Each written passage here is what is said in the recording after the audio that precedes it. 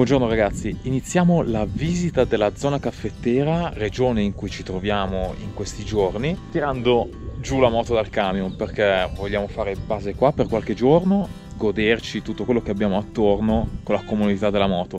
Tra l'altro ci ha contattato un amico di YouTube dicendo che ha la famiglia che vive in un paese che sta proprio qua sotto, quindi magari oggi l'andremo anche a trovare. Vediamo cosa succede.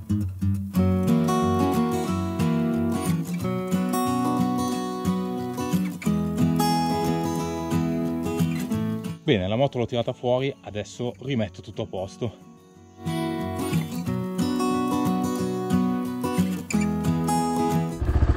Siamo pronti per la nostra giornata di visita. Partiamo.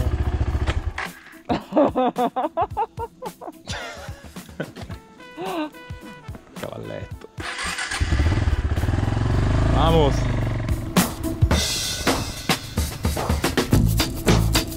La prima cosa che dobbiamo fare è andare al paese di Salento a vedere se troviamo un posto dove comprare l'assicurazione per la moto perché quando siamo entrati in Colombia l'abbiamo fatta solo per il camion e non per la moto.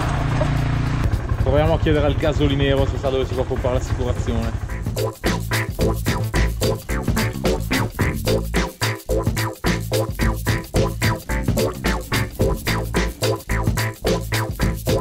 paese troppo turistico non vendono le assicurazioni a mese, dobbiamo andare ad Armenia a vedere se la troviamo. Quindi ci faremo sti 30 km senza seguro.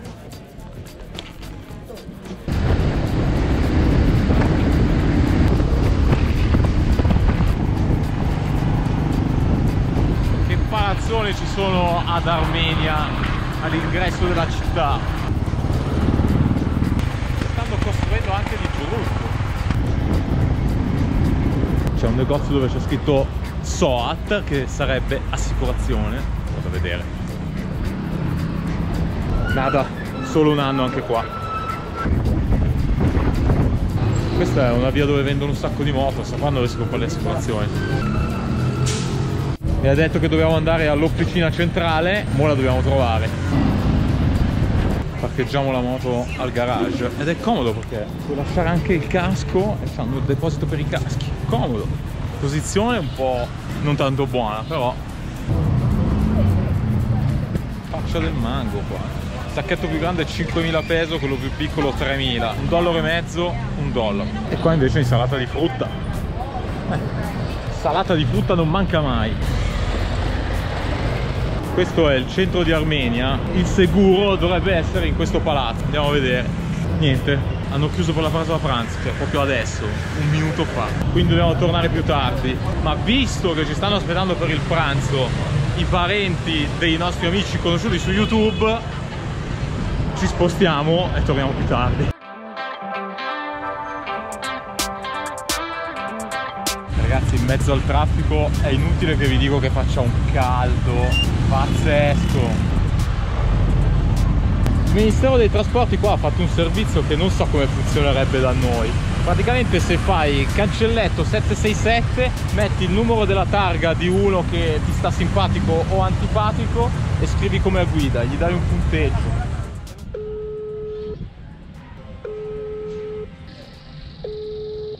Aló, eh, Mónica, soy Lucía. Hola Lucía, ¿cómo vas? Muy bien, gracias. Eh, creo que estamos enfrente de tu casa. Eh, siamo in una moto. Ah, yeah. Ah, eravamo qua di fronte. Ci siamo invitati a pranzo, grandissimo. Come si chiama il suo plato? Gallina e sancocho. Ah, sancocho de gallina. Sí, sancocho de gallina, trifásico. ¿También usted se come todo esto? No. Esto es bocadillo. Guayaba dulce. Y se come Porque se come con la mazamorra, mazamorra. que es hecha de, de peto, de maíz. Pilada, se pila el maíz. ¿Cómo es? Bon. y aquí lo prueba a ver. Ci hanno portato il gelato. Vamos a provare. Io amo il gelato. Buono. Ciao. Ciao. Ciao. Grazie. Ciao Simone. Anche a lui gli piace tanto il gelato. Ciao. Chao. Gracias. Que Dios me los bendiga. Feliz viaje. Gracias de Gracias. todo. Que Gracias. vuelvan Gracias. algún día en la vida. Ciao. Nos vemos en Bogotá. Sì, nos vemos si el Chao. Señor lo permite. Ciao. Feliz viaje. Bene, dopo pranzo riproviamo ad andare al centro a vedere se riusciamo a fare l'assicurazione. E eccoci al parcheggio. Questo cosa sta friggendo? C'è un odore di fritto. Madonna, sembra che sta friggendo la plastica. Vediamo se riusciamo ad uscire dall'illegalità e farci un'assicurazione per la moto.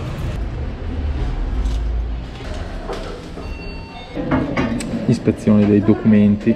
C'è qualcosa che non torna. Comunque la cosa incredibile ragazzi è che ti chiedono prima come paghi, se in contanti o carta di credito, poi vedono se possono soddisfare la tua richiesta, poi vediamo se ce la danno l'assicurazione. Cioè, sembra più complicato che in dogana, in 5 minuti l'abbiamo fatta per il camion. Qui in questa super eh, assicurazione c'è anche la zona wifi. Va. Oh, però ci hanno offerto anche il caffè e la tazzina è anche marchiata, cavolo. Buono. Nel frattempo l'attesa prosegue, ci sono problemi. Penso che sia la prima volta che fanno l'assicurazione degli stranieri.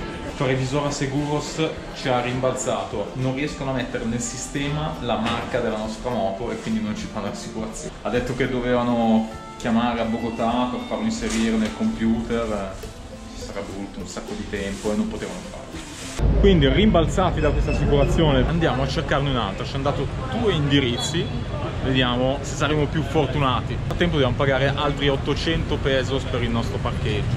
Ma ce la faremo, ce la faremo.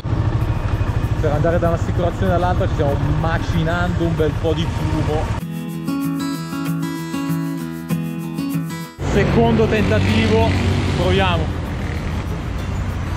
Aspettiamo, anche qua ci hanno chiesto immediatamente come paghiamo. Mi ha fatto spostare la moto perché hanno detto che passava la polizia e mi faceva la multa.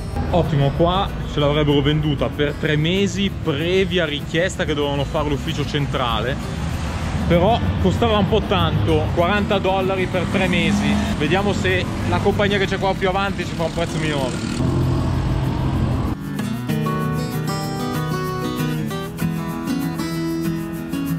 Terzo tentativo sicuro dell'estado. Vamos a ver. Non ce la facciamo uscire dall'illegalità. Altro giro di attesa. Solo il primo però ci hanno offerto il caffè. Qui direi un bicchiere d'acqua. Oh, alla fine ci hanno chiesto se volevamo il caffè o l'acqua. Stiamo aspettando risposta da Bogotà. Speramos. Potrebbe succedere di tutto. Nel frattempo gli impiegati stanno festeggiando un compleanno, non ce ne andremo mai. Magari ci danno un pezzo di torta però.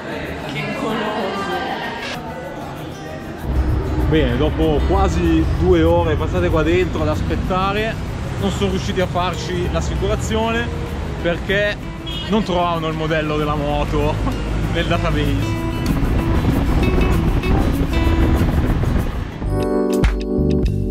Bene ragazzi, ancora per un po' nell'illegalità, ci muoviamo qua attorno quindi non abbiamo troppa paura. Facciamo un percorso fuori strada proprio qua dietro per andare a vedere come si lavora il caffè, perché siamo nella regione del caffè, quindi andiamo a vedere qualcosa questa mattina.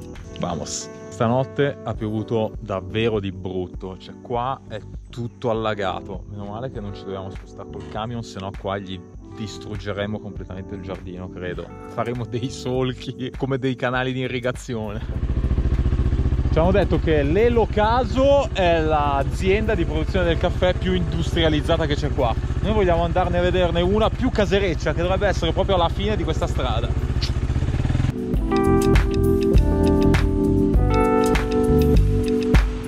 Comunque non fa caldo per niente, eh. Vai in giro senza maglia. Eh, sono partito un po' sportivo, mi sa che adesso mi metto la magliettina. Ah, io non so perché sarà assuefazione, ma sento profumo di caffè.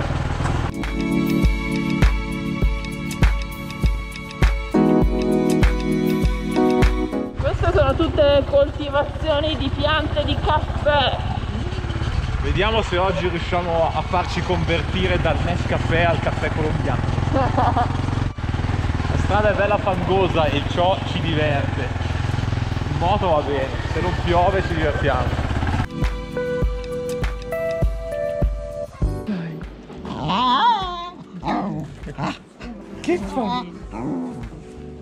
Bene, ci troviamo alla finca Don Elias, che è una delle tante finche caffettere che si possono trovare su questo percorso che abbiamo fatto, che corre lungo questo fantastico fiume. Ora abbiamo organizzato un mini tour e ci porteranno a visitare un po' tutto il processo della produzione del caffè dall'inizio alla fine. Cosa interessantissima perché noi non lo conosciamo, quindi tutta la novità per noi. Andiamo a vedere. Puerto Rico.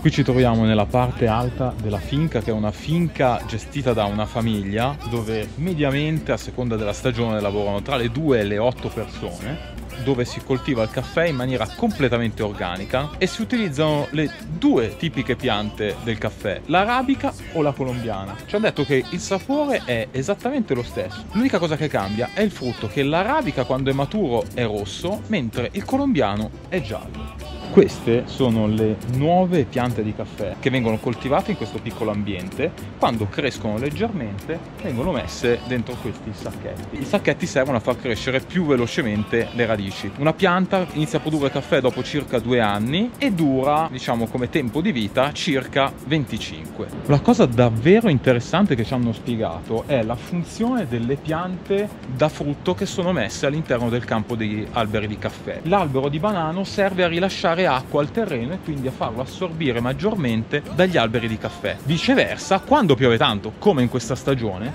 ci sono all'interno della piantagione anche degli alberi di avocado. Questi alberi hanno bisogno di molta acqua e quindi assorbono l'acqua in eccesso. E ora stiamo camminando proprio nel mezzo della piantagione vera e propria.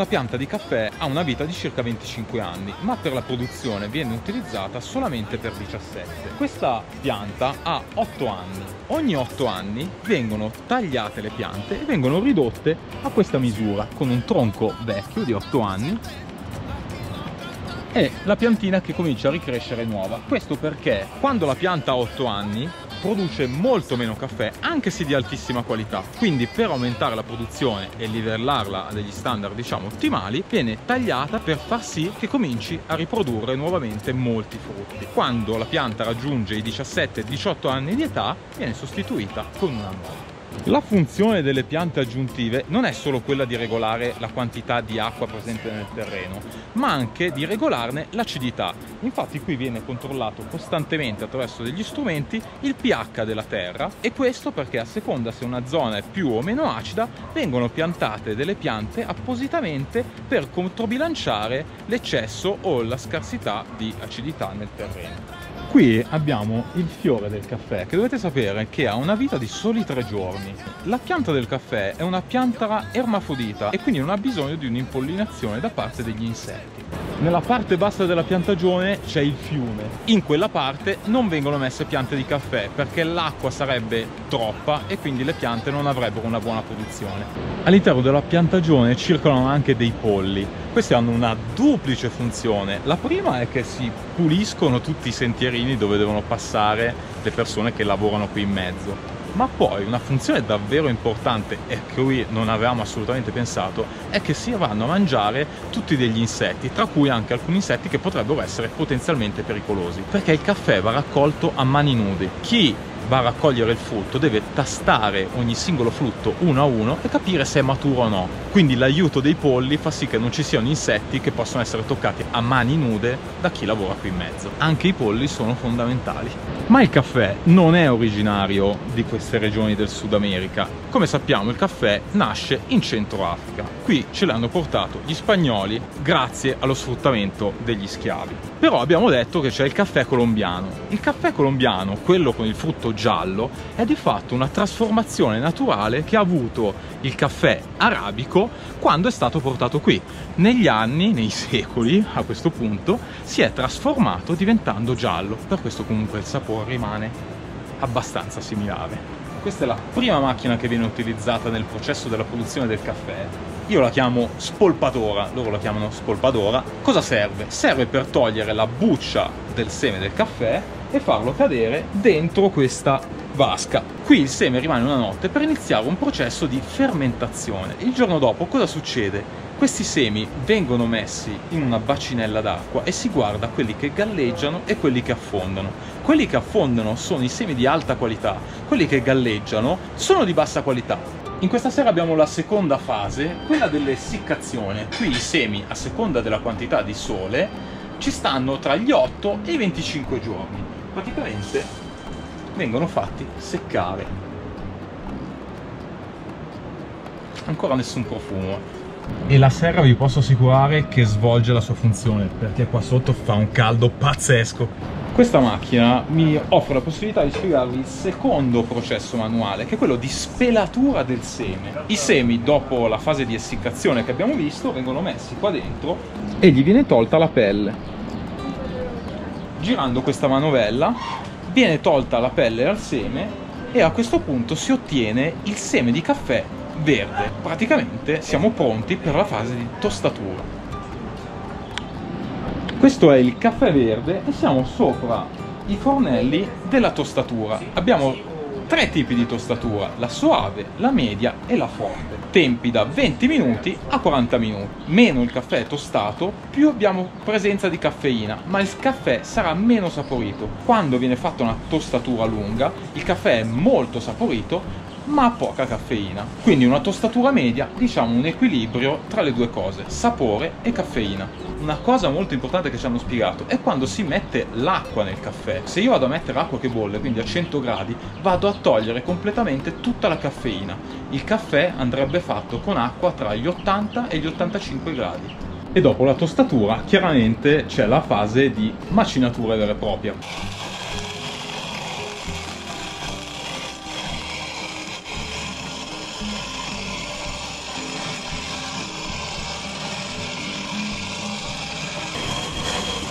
Qua si comincia a sentire il profumo eh, del caffè. Quindi ora bisogna preparare il caffè, che qui viene preparato tradizionalmente con il metodo filtrato. Quindi si mette un cucchiaio grande di caffè per ogni tazza. Il caffè viene filtrato con questo filtro di cotone che è tipico di questa regione. Prima di mettere il caffè filtrato nella tazzina bisogna pulire il caffè usando un po' d'acqua e buttandola via. Questo processo serve per togliere l'acidità presente nel caffè. Come abbiamo detto prima, l'acqua non deve bollire, quindi tra 80 e 85 gradi. Però ci hanno anche detto che questo non è proprio il metodo migliore per preparare il caffè, nonostante sia quello nostrano, perché tipicamente è molto difficile calibrare bene la temperatura dell'acqua quando la metti sul fornello. Sapete qual è il metodo migliore? La moca italiana ci hanno confermato che in Italia abbiamo inventato il metodo migliore per assaporare il miglior caffè. Prima di andare però vediamo questa finca dall'alto perché secondo me qua attorno deve essere bellissimo.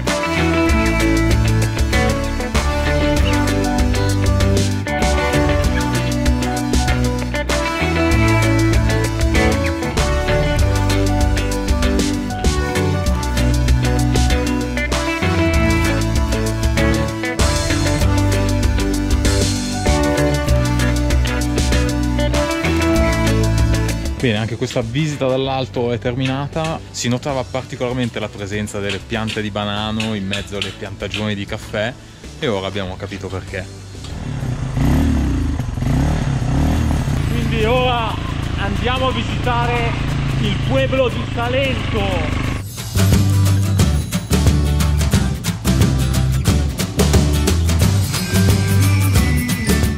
Questa è la via principale di Salento è un posto turistico, però molto carino.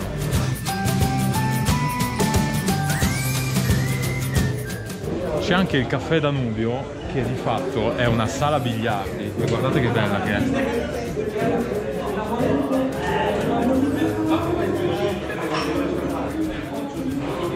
È davvero qualcosa di magnifico. Prima di proseguire la visita però visto che è tardi ci mangiamo qualcosa. E qua c'hanno un po' di todo. Empanada che hai? Carne o pollo? y también unas presas pollo fritto che qua chiamano broster empanada di pollo. Questa sarebbe la repa ripiena con un uovo. Però siccome l'uovo l'abbiamo mangiato anche stamattina basta. Tu invece Ma queste tu cosa hai preso? io mi sono preso un'empanada e una presa questa è la repa questa è también una repa bianca. Non avevi fame ma mangi più di me. mi è venuta fame guardando le cose. E poi c'è questa salsina. Questa me la sparo. È piccante. qui ci dobbiamo preparare al piccante perché d'ora in poi non è solo piccante. Qualsiasi cosa anche il caffè. Ah, mi è venuto il singhiozzo anche a me col piccante. Ah. e il bologna qua non si sa che è però il succo di mora con latte è buono sembra un frappè ci devi mettere tanta salsa c'è il queso poi il mucco 12.500 4 dollari e abbiamo mangiato le vie di Salento sono coloratissime, guardate i balconi tutti dipinti in colori differenti, molto calienti. Guardate anche le porte di questa casa, belle eh? Anche le porte sono davvero belle. Chiaramente qua tutto è incentrato sul caffè colombiano e sull'artigianato. Tantissimo artigianato locale, manufatti davvero di tutti i tipi, ma molto elaborati, molto belli.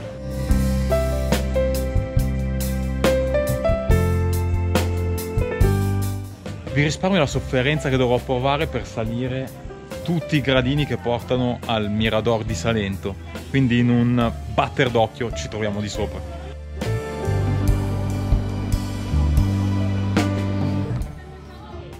E rieccoci qua. È stata dura, però ne valeva la pena.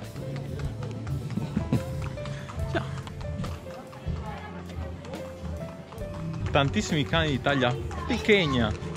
E questa è la piazza principale di Salento, la cui particolarità, oltre ai colori dei palazzi che la circondano, è il parcheggio delle jeep. Dovete sapere che queste sono il mezzo di trasporto principale per muoversi collettivamente, quindi come dei taxi, per le strade sterrate che circondano la città.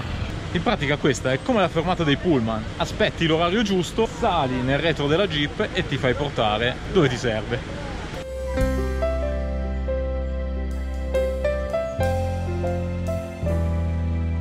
Nella piazza c'è anche l'immancabile chiesa, che questa volta è aperta.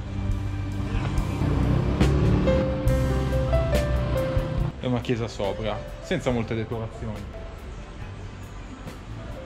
Ragazzi, questa ormai la riconoscete. È la spulpadora, naturalmente per fare il caffè. Ragazzi, io verrei a farmi una parigliata in questo locale solo per vedere come funziona questa brace. Guardate qua. Costruita su misura su una parte anteriore di una macchina d'epoca. Grazie.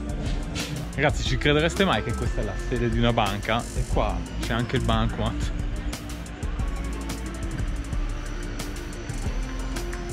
Fantastico. C'è anche la zona del wifi, ma come se non bastasse, c'è anche la zona del recarga. Presa di corrente e presa USB. Ammazza! Oggi qui a Salento fanno vaccinazioni e altre cure per gli animali gratuitamente e quindi ci sono persone che portano sia cani randagi che i propri cani a farli curare o vaccinare.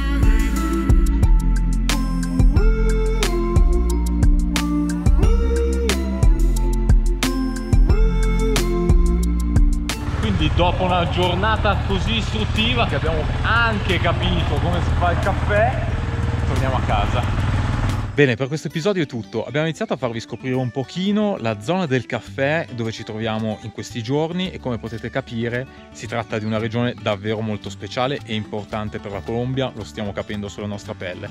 Sfortunatamente il meteo qui non è dei migliori, ma non è colpa di nessuno, questa è la stagione delle piogge e quindi dobbiamo prendere un po' quello che viene. Cerchiamo di schivare per quanto possibile i temporali che possono essere davvero fortissimi e visitare quanto più possibile senza lavarci tutte le volte che usciamo. Ci sta piacendo piacendo davvero tanto. Per questa sera è tutto, grazie per essere con noi, ci vediamo al prossimo episodio. Ciao!